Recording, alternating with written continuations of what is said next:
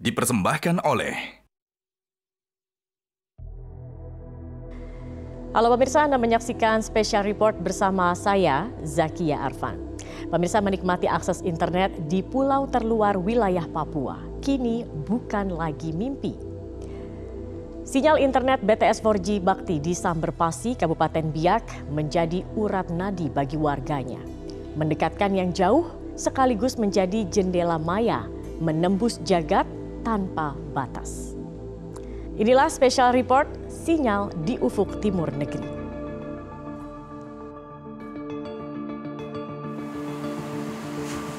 Menikmati akses internet di pulau terluar wilayah Papua kini bukan lagi mimpi.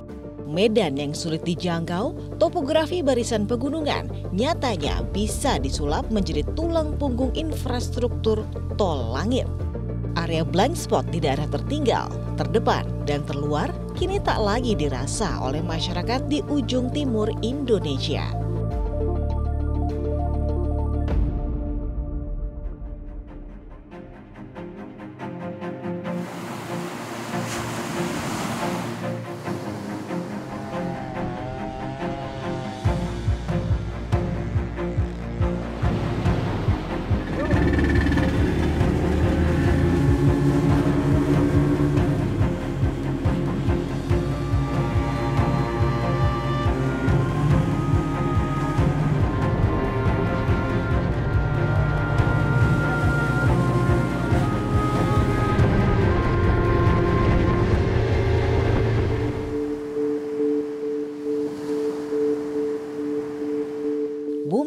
Cendrawasih memiliki alam nan eksotik. Bergelimang harta karun melimpah namun tak banyak orang tahu. Papua yang begitu cantik namun sulit dijangkau. Kabupaten Biak Numfor berada di ujung Teluk Cendrawasih terdiri dari gugusan 44 pulau-pulau kecil dan terluar yang berhadapan langsung dengan Samudra Pasifik menjadikannya kawasan yang strategis untuk berhubungan langsung dengan negara-negara di kawasan Pasifik. Kondisi geografis ini menjadi potensi sekaligus tantangan untuk terus dikembangkan. Telekomunikasi menjadi kunci di daerah-daerah seperti ini.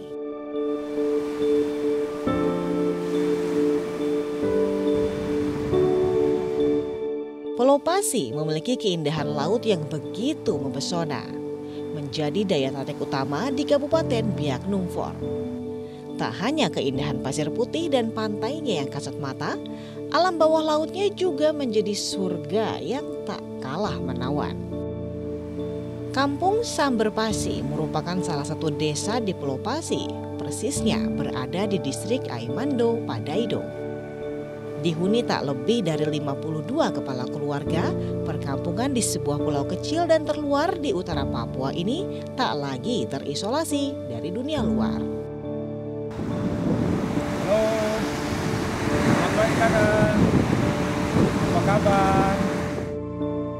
Meskipun tenaga listriknya masih bergantung pada diesel, namun layanan internet terkoneksi 24 jam. Sejak tahun 2021, warga tua dan muda hingga anak-anak bisa mengakses informasi dari belahan dunia mana pun hanya dari genggaman tangan. Kami teringat sejak dari tahun-tahun sesudah kami tidak merasakan sesuatu seperti hal dari tahun 2021 sampai sekarang 2023. Dulu kami di kampung sini menghubungi keluarga-keluarga, saudara-saudara yang ada di perantauan, jaringannya tidak sampai putus. Tetapi sejak 2021 sampai saat ini 2023, kami rasa bersyukur sekali. Yo, halo. Selamat sore. Satu biru, maaf. Eh, saya lagi mau sering-sering nengau dulu.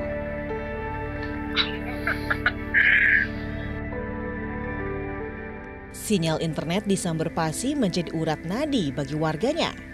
Mendekatkan yang jauh sekaligus menjadi jendela maya, menembus jagat tanpa batas. Jadi semenjak dibangun tower ini tahun 2021 kemarin. Ya. Terus kami di sini juga rasa bersyukur dengan keadaan tower yang ada ini. Karena tower ini dibangun tuh kita ikhlas saja. Tidak tuntut apa segala macam. Yang intinya barangnya dipakai untuk kita semua.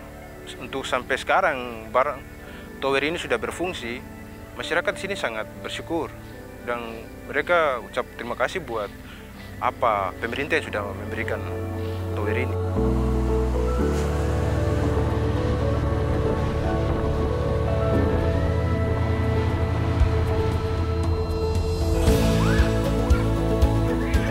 Begitupun dengan desa Yenmanaina, tetangga desa yang berada di Pulau Pasi. Di sini juga berdiri Menara BTS Bakti yang dibangun sejak tahun 2020. Keberadaan menara-menara BTS di distrik Aimando sangat dirasakan manfaatnya oleh masyarakat setempat. Kini, internet sudah mengakar di warga Aimando. Ibarat disuntik darah segar, internet menggerakkan semua sendi pelayanan di pemerintahan Aimando. Eh, sebelumnya, belum ada internet itu memang eh, kami agak lambat dalam hal pelayanan eh, pemerintahan, pembangunan dan kemasyarakatan. Nah, sehingga di hari ini saya mau sampaikan terima kasih untuk pemerintah.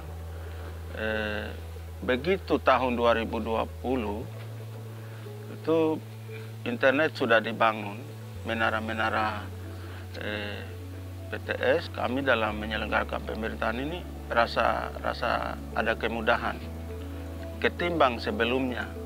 Jadi kami eh, dalam penyelenggaraan sistem e-government walaupun kami di daerah 3T sudah kami sudah mulai memulai dan kami sudah eh, menerapkan itu. Jadi semua laporan-laporan kami sudah tidak menggunakan kertas, kami langsung update setiap bulan data penduduk maupun laporan perkembangan eh, dinamika penduduk termasuk eh, pelayanan di pendidikan kami sudah update.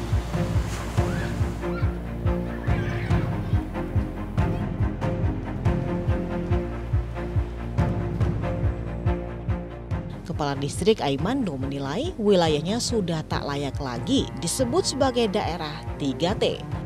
Sebab kawasan kepulauan yang terbagi dalam 13 desa ini sudah terkoneksi satu sama lain. Di Kepulauan Aimando dan Padaido telah dibangun 17 menara BTS Bakti. Saya kira tahun 2020 itu yang mungkin kita sebut 3T.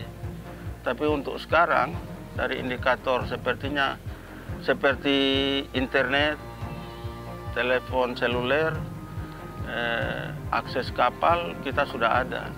Sehingga mungkin eh, nomenklatur 3T ini mungkin untuk tahun ini saya saya keberatan kalau menggunakan nama 3T itu lagi.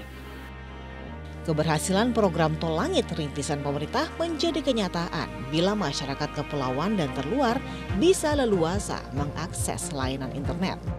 Akses internet di seluruh wilayah adalah simbol kesetaraan. Menjadi bentuk keberpihakan negara hadir di seluruh pelosok negeri.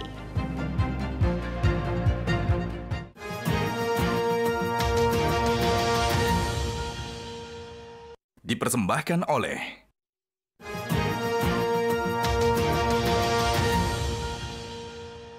Dipersembahkan oleh Pemirsa akses internet di seluruh wilayah adalah simbol kesetaraan, menjadi bentuk keberpihakan bagi semua warga negara. Roda perekonomian di Papua diharapkan berputar lebih cepat. Penguatan infrastruktur telekomunikasi hingga pelosok negeri tanpa pandang bulu demi terwujud Papua lebih maju.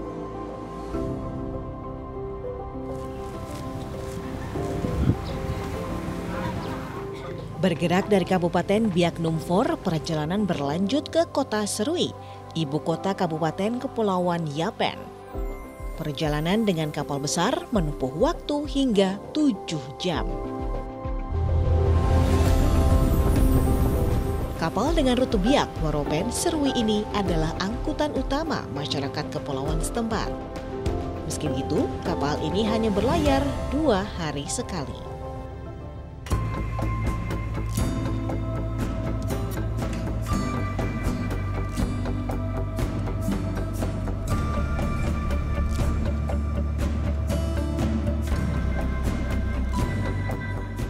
Berbeda dengan Biak Numfor, Kabupaten Yapen memiliki topografi berbukit dan bergunung-gunung.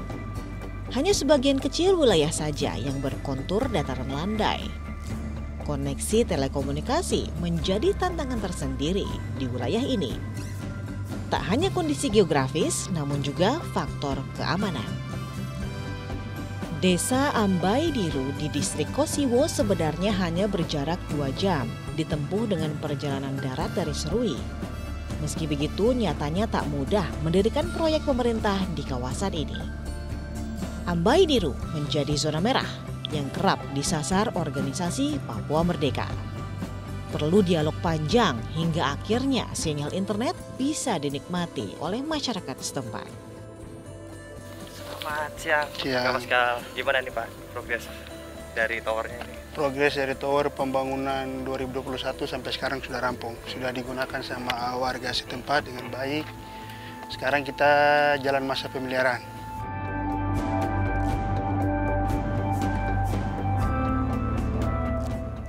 Yang ini ada CCTV, BTS, ISAT. Untuk di sini perangkat power.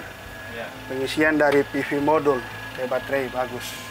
Jadi kalau untuk baterai sekarang sudah berapa persen? Baterai sekarang 100%, SOC 100%. Kalau untuk sinyalnya? Untuk sinyalnya nanti kita bisa pakai aplikasi untuk tes speed, kecepatan sinyalnya. Bisa. Hmm. Tapi dengan kondisi saat ini, BTS ini eh, on air ya? On air. Di sini mulai dari CCTV on.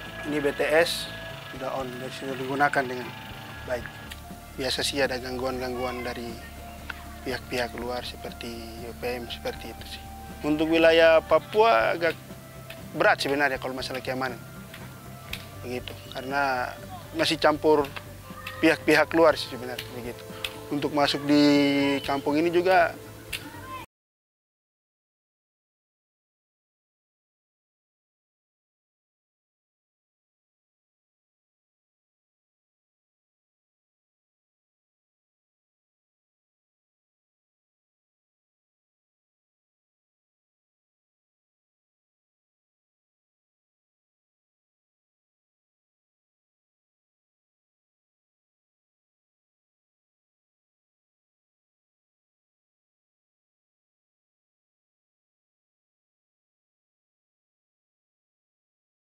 wilayah Pegunungan Muma di kampung Ambai Diru. Melalui jalan setapak.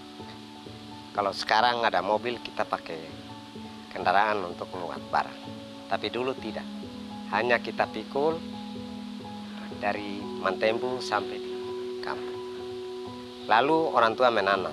Tapi mereka beranggapan bahwa hasil ini nanti eh, ke depan bagus atau tidak mereka tidak tahu. Tapi sampai sekarang kami menikmati hasil yang cukup bagus. Kopi, kopi organik, tidak pakai campuran lain. Asli, kopi asli.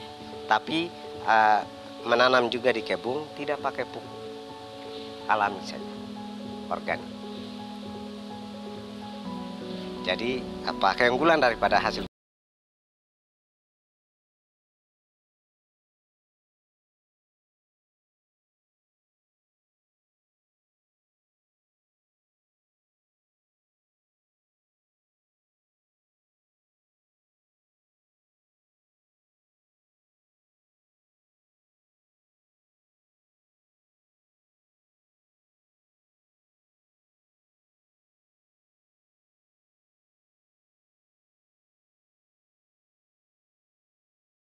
Penggulangnya beda dengan pakai minyak atau kompor gas yang semacam itu. Itu kan aromanya beda. Makanya kita jual keluar, orang mau harus pakai kayu bakar. Jadi kita sesuaikan ke selera dari peminat. Nah, kalau kita pakai eh, kompor LPG, gas LPG, pakai sangrai, dia aromanya beda. Kopi Robusta asal Ambaidiru menjadi komoditi unggulan lokal sejak tahun 1930-an. Yordan Mora bersama ratusan petani lainnya turun-temurun lintas generasi menggeluti budidaya kopi Ambaidiru. Namun mereka menolak tergusur oleh zaman dengan memanfaatkan kemajuan infrastruktur dan teknologi telekomunikasi, produk rumahan kopi Ambai Diru terus menggeliat, menggerakkan roda perekonomian masyarakat. Bisa bawa kopi dari sini? Ya. Mereka pesan berarti kami antar ke tempat. Ke tempat. Kalau di kota di Kabupaten Kepulauan Yapen, eh, mereka minta kami proses, setelah itu kami antar langsung ke tempat hanya melalui jaringan internet. Tapi kalau dulu belum ada internet, susah kita jual. Kita prosesnya ada di kampung, tetapi jual keluar tidak ada. Pengusaha yang membeli. Nah, tapi setelah ada transportasi yang bagus, jaringan yang sudah bagus, yang eh, pemerintah fasilitasi, hasil kami juga sampai hari ini semakin bagus. Didukung oleh sarana dan infrastruktur yang terus membaik, roda perekonomian di Papua diharapkan berputar lebih cepat. Penguatan infrastruktur telekomunikasi hingga pelosok negeri tanpa pandang bulu demi terwujud Papua lebih maju.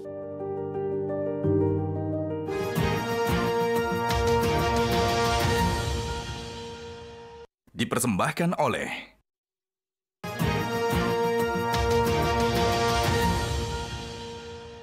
dipersembahkan oleh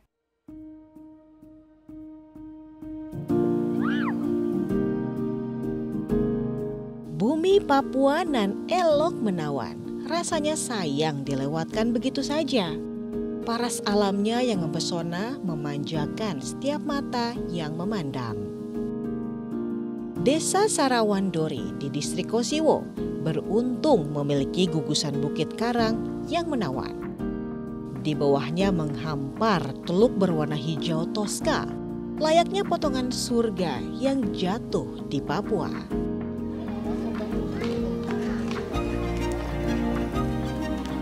Sarawan Dori masuk dalam kategori wilayah tertinggal, terdepan, dan terluar Papua. Namun kini warganya terus bersolek, memoles wajah desanya. Pemerintah pun tidak tinggal diam Potensi besar ekowisata di Teluk Sarawan Dori terus didorong dengan membangun sistem jaringan telekomunikasi BTS 4G Bakti sejak tahun 2021. Jaringan internet eh, masuk ya itu untuk masyarakat umum Sarawan Dori itu membantu sekali untuk mengabarkan pesan berita kepada keluarga yang di luar kota, yang dari luar kota juga bisa mengabarkan secara langsung ke masyarakat. Nah, kalau di sisi peningkatan wisata, potensi wisata itu dari segi promosi kita lebih mudah untuk promosi potensi wisata kita melalui YouTube, Facebook, Instagram, nah itu sangat membantu sekali dan itu karena tamu tamu-tamu yang berkunjung ke Serui dengan mudah bisa mengakses informasi lewat media-media tadi online itu. Juga untuk wisatawan yang berkunjung bisa dengan mudah juga mengabarkan berikan informasi buat keluarga di kota atau mungkin orang yang dari luar kota juga di sini menelpon keluarga di Jawa, di Jakarta, ya ini kita lagi di sini di Serui.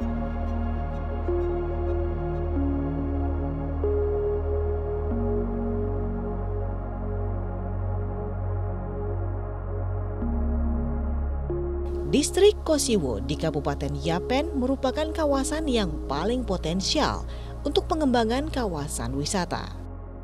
Ekosistem hutan dan teluk di distrik Kosiwo menjadi sumber penghidupan dan berpotensi meraup pendapatan asli daerah. Data Asosiasi Penyelenggara Internet Indonesia mencatat pengguna internet tahun 2023 tembus hingga 215,63 juta orang. Namun dari jumlah tersebut 77,36 masih didominasi di kawasan perkotaan. Sementara pengguna internet di pedesaan tidak sampai tembus 30 persen. Padahal total sebaran penduduk Indonesia hanya 51 hingga 52 persen berada di perkotaan. Selebihnya 48 hingga 49 persen berada di pedesaan. Ini artinya masih ada celah kesenjangan yang perlu segera ditutup. Memang kan daerahnya tergantung ya seberapa jauh, seberapa sulit. Kadang-kadang kalau yang jauh-jauh kan harus pakai nggak bisa naik kendaraan uh, darat ya, harus kadang-kadang lewat laut mungkin diangkutnya, harus lewat udara. Itu kan juga pasti kosnya kan gelembungnya tinggi banget dibanding kita bisa normal lewat darat ya. Belum juga apakah ini include kalau ada perangkatnya lagi kan beda lagi ya. Nah itu kan juga sebenarnya harganya beda lagi. Nah itu tergantung uh, banyak banyak banyak faktor sih sebenarnya tergantung kondisi di lapangan. Jadi karena logistik ini kan nggak bisa diukur ya benar-benar masing-masing lokasi ini pasti beda-beda tantangannya gitu.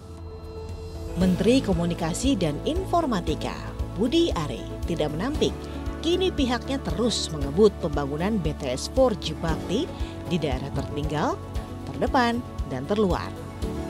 Hasilnya, hingga saat ini sudah terbangun 4.988 menara BTS 4G dan siap beroperasi penuh proyek strategis nasional yang digeber sejak tahun 2020 ini akan diresmikan penggunaannya oleh Presiden Joko Widodo dalam waktu dekat.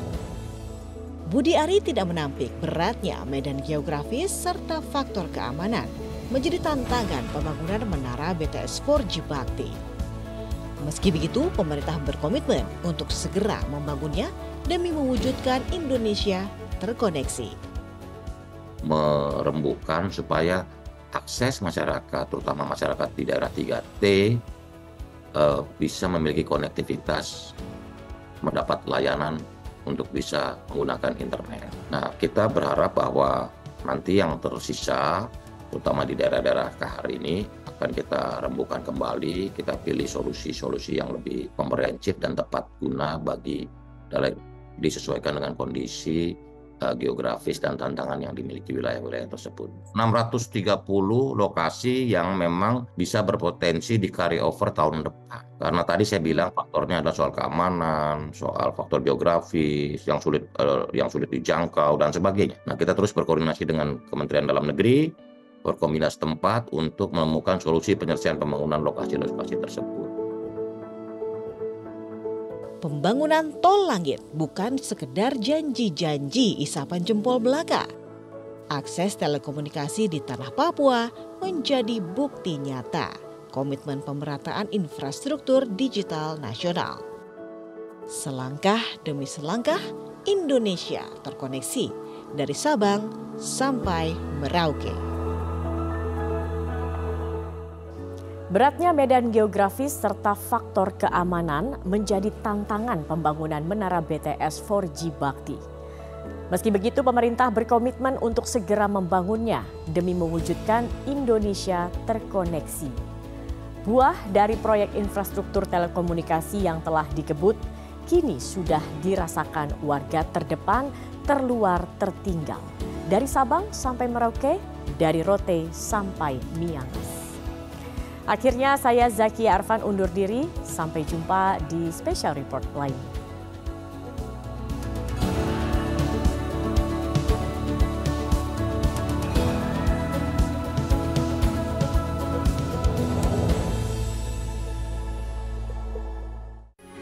Metro TV. Jelajahi cara baru mendapatkan informasi. Download Metro TV Extend sekarang.